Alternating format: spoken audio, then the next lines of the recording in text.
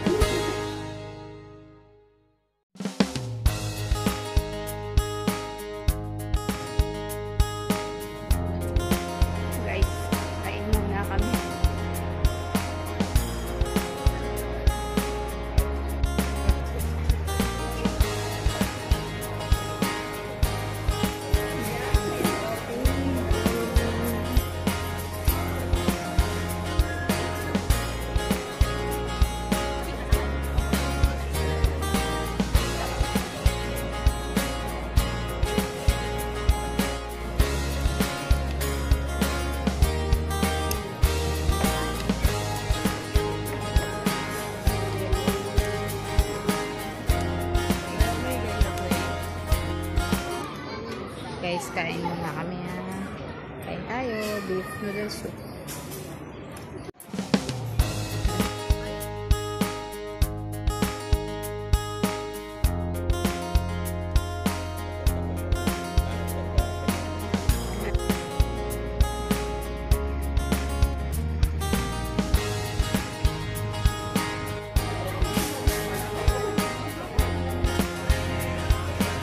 Lang kaming nasa Pilipinas. Pakain ng buko. Ate. Just...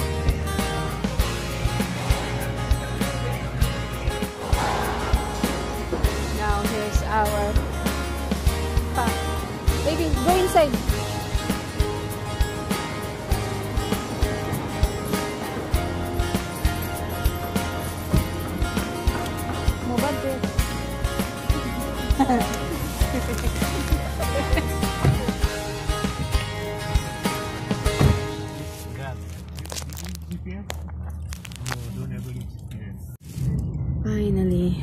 Coming.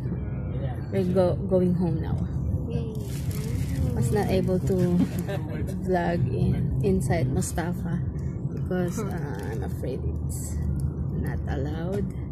So I'll just uh, You're vlogging. The, the view is so nice. I'll just let my uh, viewers view the whole, not really whole Singapore, but The place. yeah, the place on my way.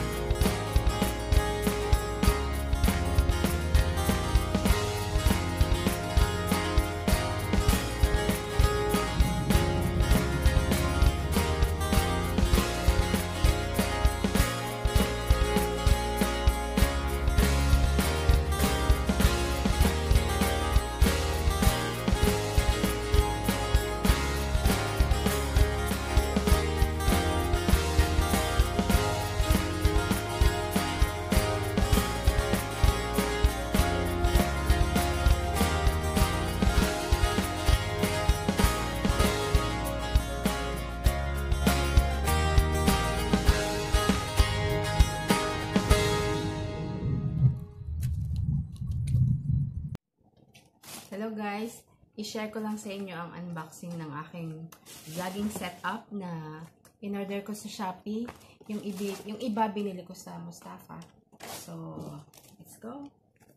So, this one is a pinili ko sa Shopee and it arrived I ordered it last uh, week and I, it arrived just today. So, let's open. Okay, I just want you to see how I open.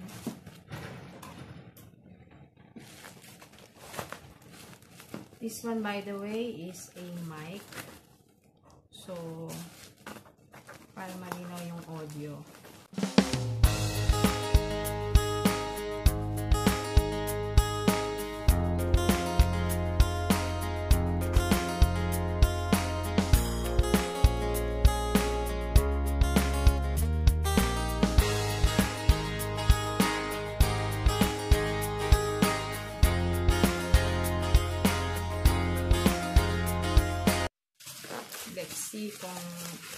Magiging malinaw ang audio ko in my next video. Wow! Okay. Tada! This is Boya Universal Card Cardioid Microphone. So, this one guys. Let's check inside. Actually, Shopee texted me requesting me to uh, press the receive button. But uh, marami ako nakita sa mga Facebook newsfeed na yung iba umorder ng cellphone sa Shopee pero ang dumating eh nasa box ng cellphone. But actually the content inside was different. So I was scared. So I decided to might as well check it first whether the one I ordered is actually the one I received before I press that button. So, seems okay. So, this one is the, this is the actual mic, I think.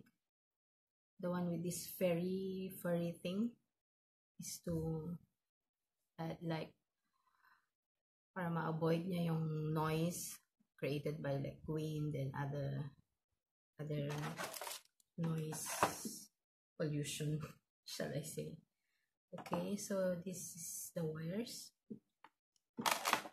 And another wires and a pouch. Okay.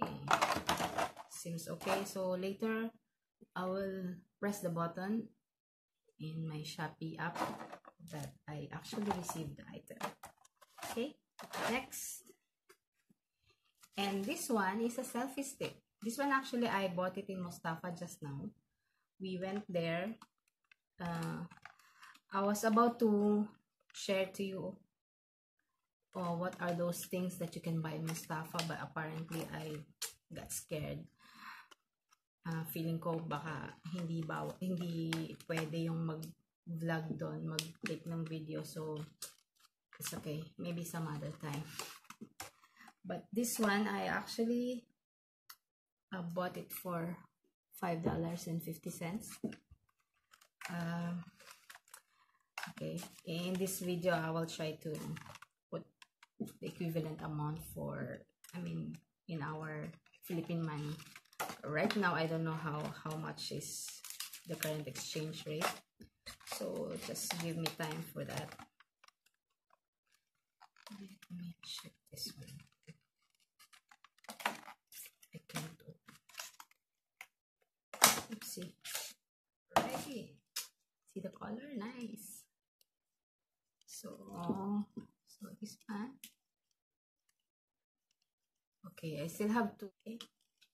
Next one is this one, holder. I also I bought this in Mustafa for $15. Let's see.